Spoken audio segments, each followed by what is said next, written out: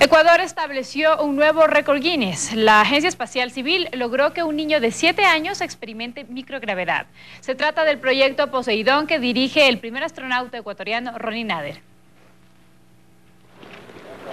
Él es Jules Nader, de apenas 7 años.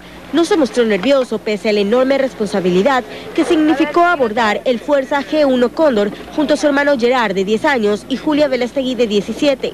La joven fue invitada para comprobar su tesis de grado que versó sobre la medición biométrica de los niños en microgravedad.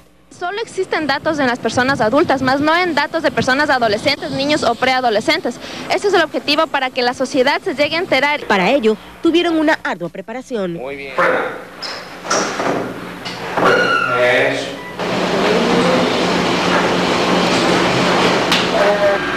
Duró aproximadamente una hora y aunque el video filmado por la agencia se dañó, estas fotos avalan el récord mundial ecuatoriano. Una categoría nueva donde Jules y Gerard han volado y Jules, teniendo siete años, ha sido eh, la persona más joven de volar en microgravedad. Los participantes se mostraron contentos por la hazaña. Y entonces nos giramos y me hice así, como un Spider-Man. ¿Qué tal fue volar?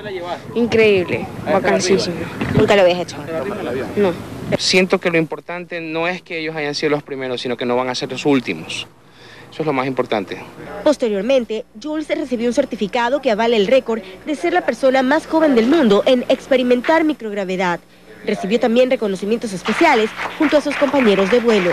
Glenda Bastidas, La Noticia.